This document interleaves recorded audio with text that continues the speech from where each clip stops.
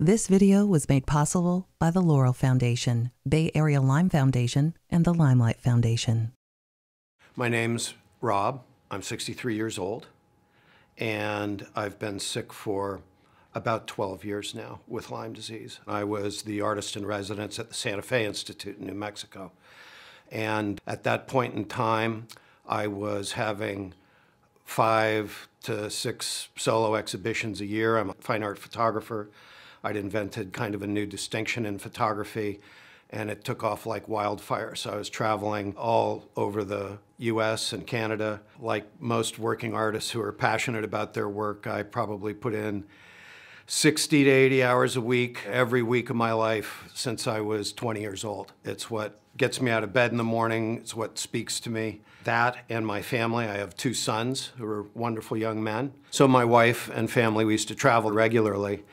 And it was over a period of about a year that I noticed that, contrary to my previously very active social life, that I was no longer coming home at 11 or 12 at night and going to bed and getting up and working. And suddenly I was going to bed at 7 o'clock in the evening. And it got worse and worse until I was not only going to bed and sleeping 12 hours a night, but I also started feeling uh, lethargic.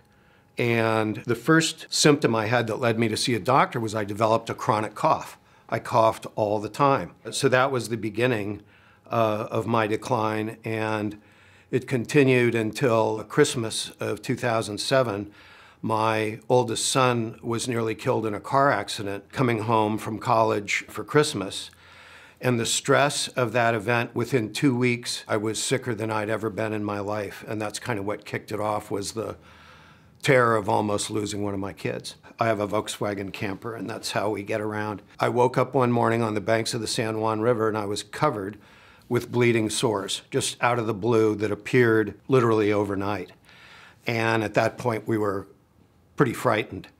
And when we came home, I went and saw a skin doctor. And he said it's a rash, and he put me on prednisone, which caused me to completely melt down. That was a couple weeks before my son's car accident. And so I spoke with a registered nurse in our town who had Lyme disease. As a result of my wife's having had a conversation with her, I don't know what's wrong with my husband the world's coming off the rails. And she explained it. She said, My God, it sounds like he has Lyme disease. Has he ever been bitten by a tick? And my wife said, I don't know, 50 times or more, because I'm a professional landscape photographer. So I, prior to getting sick, I spent 60, 70, 80 days a year either camping in the van or out in the field doing my work. So I called her on the phone and we talked for over an hour. And by the time I was done, I was absolutely certain that was the problem. So I went and saw my doctor, our family doctor. I said, I think I have Lyme disease. And he said, No, you have a terminal illness. I said, What's that? He said, People like you get on the internet and they think they know everything about their health. And there's no Lyme disease in California. And, uh, and I said, Well, I want to be tested for it. So he did a test and sent it off, and they said no Lyme disease. What I didn't know is that I'd only had four bands of the required five bands of antibodies to be considered with Lyme disease. So he said, This is not your problem. Our friend, who is the registered nurse who suggested this might be the problem, said, You need to find a Lyme literate doctor. And I said, What is that? And we talked about that and eventually found our way to a doctor who is preeminent in the field. So what he recommended was that we do a full battery of tests, the Western blot and so on, which we did. And they came back with the same result that our family doctor had, the difference being when my doctor, my Lyme literate doctor, did it, he looked at the level of inflammation in my body and all these other things, and everything pointed directly to Lyme. So at that point, we had our diagnosis and actually had a family dinner that night with my siblings and kids and everyone. And the whole dinner, I was sitting there thinking, how can I tell them this? Because by then I was truly terrified, having done a lot of research, learning that this is not, you know, you broke your finger, splint the finger, the finger is fixed, and you go on. So I announced with great drama that I had been diagnosed with Lyme disease, and I looked around the table and everyone was looking. They said, What is that? But that was the turning point where at least we had a path forward. And finding out that there was this controversy about what is this disease, how is it defined, and that I had unfortunately been one of the people who had been in decline for a couple years, and now it had a hold on me. It had a hold on me big time. One of my collectors, a very prominent man, introduced me to the head of one of the major universities, their medical department, and they agreed to see me. And I went in after having had the diagnosis, and they said, This is not Lyme. And they spent the entire time trying to explain to me why it wasn't Lyme, but couldn't offer me anything else. So I was really astounded by their commitment to their own point of view about what was wrong with me. And our doctor, who was Lyme literate and very prominent in the field, offered me a way forward, and the other didn't. So we began treatment immediately. I'd go to the hospital once a week, initially driving myself for injections of a powerful antibiotic, bicillin. The immediate result was just a dreadful kind of feeling poisoned, likening it to maybe some of my worst college hangovers. And I was perplexed by that. And the doctor said, uh, You're going to feel worse before you get better. There will be a massive die off. All these bugs have been growing in you for a long time. And when they die, they choke your cleansing organs. Within a month, I could no longer drive a car, was suffering uh, the most horrific nightmares one could imagine. Nightmares so awful that it would take me days to get over them. Nightmares so awful that in my crazed brain, I tried to stay awake for days on end to avoid the burden of going to sleep. As the treatment progressed, I started having daytime hallucinations. I couldn't be left home alone for my own safety. I think one of the most curious things was that I couldn't make the distinction between what was happening in real life and what was happening on the television. So if there was gunplay on TV, I would hide behind the bed. I couldn't watch the news because it was too, uh, too terrible. And there were times I'd want to get a little fresh air and walk down to the corner of the street I've lived on for 20 years and wouldn't be able to find my way home. So it was very uh, traumatic. I went and saw the doctor every three months. And while my Lyme numbers stayed the same, I didn't get sicker, but it took a full year just to turn the situation around. But by turning it around, I mean, you know, it's been 10 years now being sick every single day. Stabilized, I think, is the most positive thing I could say about it. The most significant thing that happened after that first year of injections, 52 weeks straight, was my visit with our doctor when my wife said to him, I think there's something wrong with me. And he said, Well, what's going on? And she talked about how depressed she'd been and running out of energy and so on and he immediately gave her a Lyme test, and she tested positive as well. And he started a very aggressive regimen of oral antibiotics on various rotations, 32 different antibiotics we took from him orally over the following years. And after a couple years, when we weren't making any significant progress, we started really looking to see what else might be possible. The joke around my house is everybody's got the answer, nobody's got the cure. So we saw the acupuncturist. I started seeing a nutritionist. The nutrition was terrific on a number of fronts. First off, I had a holistic healer who was looking at the totality of this versus the traditional uh, Western medicine approach of finding what the problem is and killing it or removing it or fixing it somehow. So he started treating all of me. And that was helpful because I had thus far just felt like I was in a war.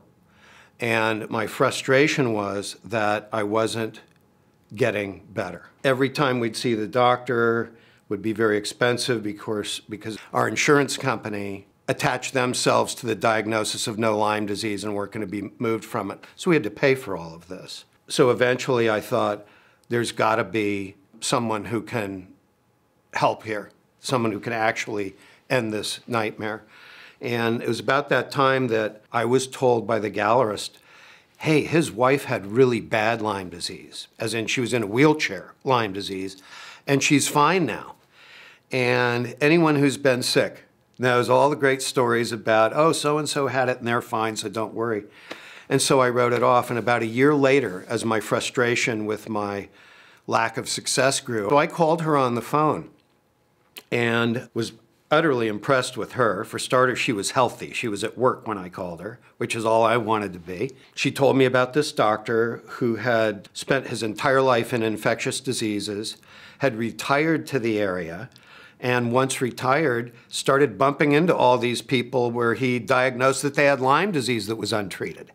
So he had reopened his trade, his practice. We went down and saw him on a Friday and he announced that he would like us to move to his area on Monday, three days hence, to undergo 60 days of antibiotic infusion. I told him that that's easier said than done, that my wife and I are both working artists and is a very popular part of the country for summer vacations and that we couldn't afford to rent a house or anything else. The next day, we were at our neighbor's home having a bite, and one of their friends walked in and she announced, Gosh, what I would give to find somebody to live in my house this summer while I'm in New York. And it turned out her house was a mile away from this doctor's office. So we moved down due to the kindness of uh, people we didn't even know, and the treatment began. 60 days of IV infusions brought my Lyme numbers to the lowest level they had been in who knows how long. And he said, You just can't work like you used to work. And so I nodded and said I understood. And he looked at my wife and he said, He's going to go back to work, isn't he? And she said, Yeah, he is. And he said, Well, you heard it from me. Don't do it. So I went back. I rested for a month. I worked a little for another month. And then I dove back in. And at the end of that month, all the Lyme had come back. So a few months went by and I had to go back for a second round of infusions. Throughout this entire period of treatment, one of the most terrible things for me was that I lost my desire to create. Making art is a very high calling. It doesn't happen for me in the presence of lots of pain and suffering and confusion and so on. And so after that first round of infusions, I got home and I was looking at my dark room and my studio, and I was thinking, well, there might be some interesting things to do here. And that was a breakthrough just that I might still have an interest in doing that. And so I did go back to work. I did get reinfected and then went back for another round of infusions, which appeared to be successful. There were no traces of the Lyme antibodies, and it appeared that for the first time in, guess I was about eight years, that I was free of the bug. In the months that followed, I quit having acupuncture. I quit taking nutritional supplements because it was a very expensive habit and was extremely disappointed that my symptoms were present and persistent. And that's to say, a terrible mental confusion. Chronic fatigue is, gosh, you know, I just hate that name. It sounds like you're tired and nobody's come up with a better name for it, so you know it is what it is. Chronic fatigue is profoundly debilitating. It's not that you're tired. I mean, I'm familiar with being tired. I kind of love to leave it all on the field, as they say in sports. But this is not that. This is like the inability to get on the field, the inability to think things through in a way that's clear enough that leads you into action. The cognitive issues around Lyme are just devastating. So, yeah, the brain fog is critical. And I think part of the brain fog is in being in constant pain. It takes so much energy to address joint pain and soreness and the rest. We don't do our best work when we have the flu, and it just feels like a constant flu. We have lots of, uh, lots of jokes about Lyme around the house. One of one of my favorites is you can't sleep at night, you can't stay awake during the daytime. And this is absolutely true. I have had such dreadful problems sleeping. Sometimes have to write down what I'm doing because if I walk from one part of my studio to another, I'll get to the other part of the studio, have no idea what I went in there for. So I have to go back and recreate the whole thing. So it renders you almost unable to function in social or professional society having been healthy my whole life, I can't compare this to other illnesses. But one of the things I think that really makes Lyme distinct is that it's just a whole complex of problems. And so you'll work on one thing and another will fall apart. In my case, from time to time, I do public speaking. I continue to have exhibitions that my galleries mount in my absence. And so when I have to be in public, I take a medication that's actually for sleep shift disorder. And boy, it's terrific. I feel almost completely normal for a period of a few hours. And then the next day, I feel like a truck's run over me and I have to stay in bed for several days. So it's like this seesaw where, okay, if you're going to use up your energy and give a talk and you have to medicate yourself to do it, you just know that the next few days you're going to be shot. Or you take a walk to the beach. You go out to dinner with friends, and it goes late into the evening. And so you're constantly, every single day, measuring how's it going to go? Today I got up early, I'm here. I will go home and I will spend the rest of the day in bed. I'll get up as I always do at five in the evening because if you stay past five and you fall asleep, you're in big trouble. So I get up at five and we eat dinner at six and I go back to bed at seven and then I get up the next morning at nine and I will try and work for a couple hours and then I go back to bed. My life has gone from this kind of outward vision about what do I want to contribute to the world I live in to being how is it going to be for me and how can I protect myself? You know, I've had a blessed life. I'm someone with no bucket list because every day I'm fulfilling my dreams even though it may be for only a few minutes. I'm fortunate in that I'm part of a community that cares about me, my family. I have two gentlemen who've been coaching me, counseling me, one of whom's been sick for 25 years with this kind of situation, and the other who's a dear friend who coaches me with respect to my life and my art and so on. What's it like when you lose your life? What's it like when you go from being a brilliant, celebrated artist to someone who can't remember what he did the previous day? When you have all of the components of your identity stripped away, you find out that you're not any of those things. And in that is true, authentic freedom, maybe the first real freedom I've ever had in my life. And I hate to think that this is what it took, but there's no question in my life that I am healthier in that regard now than I ever have been before. You know, I identified myself when I got sick. I was an artist, a father, a husband, a son, an active player in the community. And I had to let go of all those things. And it was certainly one of the most painful journeys I've ever taken. But when I came out the other side, and I'm not talking about being healthy, I'm talking about this loss of identity. When I saw that I'd lost everything that I thought I was and that I was still here and that I was still complete and whole, something profound shifted for me. I used to lay in bed and just grieve the life I used to have. I don't do that anymore. I mean, occasionally it'll come up, but usually now I spend my time in gratitude I worked so much in the first 40 years of my career that I have a wonderful body of work that continues to support my family. That's Christmas for me now when the phone rings and it's a dealer somewhere and they've placed another piece or they want me to make another piece for them. It's a reminder to me that my life's been about something and that I've served well and that it's all right for me, even though this wasn't what I wanted. But it's all right for me to let the returns come in now for the investment I've made in my life. So I work in my garden, I sit in the sun, I rest a lot, and I have made the most of the journey. My wife has been my rock throughout this. I don't know if I'd be alive without her care. I've only had one job for 10 years, and that's to get well. And I still have that job.